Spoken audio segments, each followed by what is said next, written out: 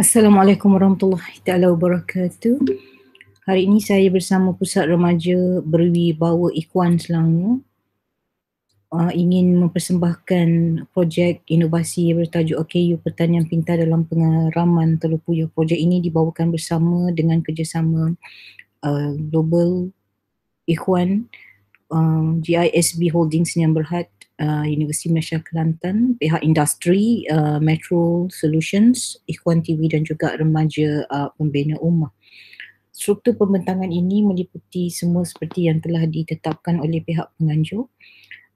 OKU Pertanian Pintar dalam pengeraman Teluk Puyuh ini uh, sebenarnya merupakan uh, aktiviti yang telah dijanakan oleh generasi muda di pusat ini. Projek inovasi ini menggunakan perisian core flow logic yang membantu memperkasakan uh, minat generasi muda hari ini dalam aktiviti pertanian uh, pintar ya. Pertanian uh, burung puyuh di Malaysia sebenarnya uh, masih berada di tahap uh, kecil-kecilan kerana ramai menganggap pertanian ini susah untuk mencapai tahap komersial. Namun uh, dengan adanya uh, teknologi terkini yang merupakan satu uh, cabang aktiviti dalam memperkasakan minat generasi muda hari ini. Teknologi ini atau inovasi ini memperkenalkan perisian visual interaktif yang menggunakan blok carta alih drag and drop yang dinamakan um, core flow logic.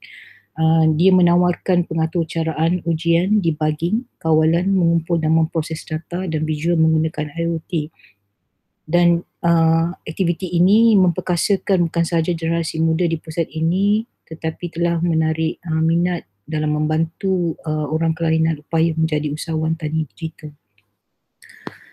Sebenarnya dalam membawa kelebihan uh, inovasi ini ia memperkenalkan data storage for analytic dan juga IoT uh, di peringkat asal dan didapati kebanyakan juga uh, peternak hari ini mungkin kurang uh, mem- mendalami ilmu-ilmu teknologi yang boleh diperkasakan ya.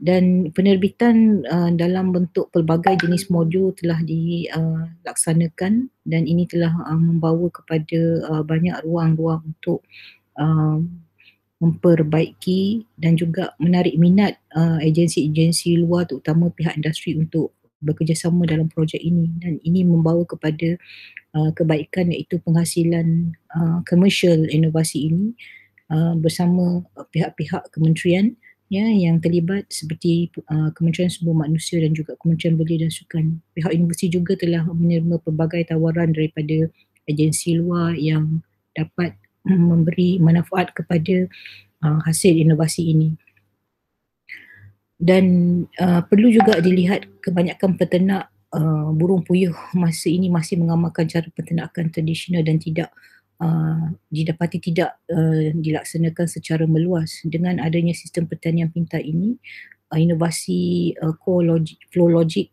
ia membantu memantau suhu pengeraman uh, telur puyuh dengan lebih berkesan. Mari kita saksikan bagaimana sistem ini memberi manfaat uh, dalam konteks pemantauan dan juga um, terutamanya pengawalan suhu pengeraman telur dan juga penyematan penggunaan elektrik dengan berkesan.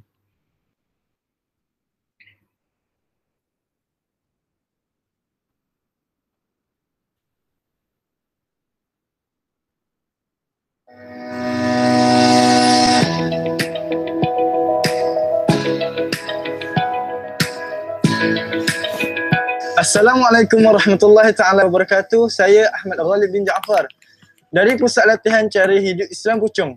Alhamdulillah baru-baru ini kami direzekikan untuk menyertai kursus digital farming yang dianjurkan oleh Universiti Malaysia Kelantan dengan kerjasama JISB Holding dan beberapa agensi yang lain. Kursus ini memperkenalkan pada kami tentang sistem teknologi moden dalam pertanian dan peternakan. Dan hari ini saya akan menceritakan kepada anda tentang salah satu projek di sini yang kami buat iaitu tempat pengeraman telur puyuh atau dikenali sebagai incubator. Projek ini telah bermula pada tahun 2019 dan kebanyakan burung puyuh yang ada di sini merupakan hasil dari sistem pengeraman telur puyuh yang telah berjalan di sini.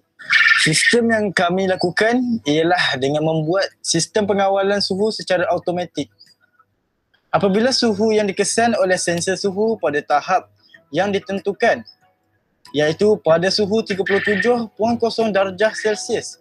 Lampu dinyalakan sebagai sumber pemanas kepada telur puyuh.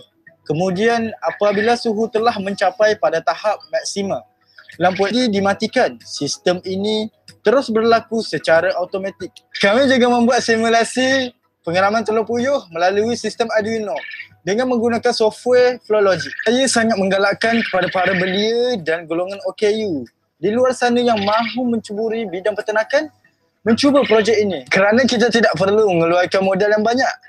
Tetapi untuk membinanya kita boleh menggunakan barang-barang yang terpakai.